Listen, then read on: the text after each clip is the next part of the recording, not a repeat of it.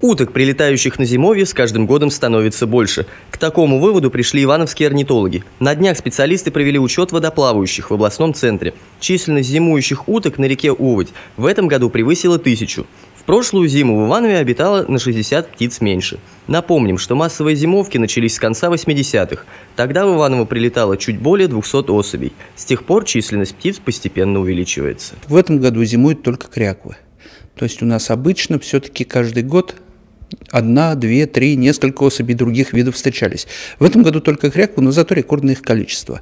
В этом году более тысячи, вот мы насчитали 1137 птиц. Ну, понятно, что, возможно, какая-то очень небольшая ошибка, потому что мы э, проводили, кроме вот такого обычного подсчета, еще и фотографический контроль. То есть э, все утиные скопления были сфотографированы, потом уже на компьютере мы их точно пересчитали.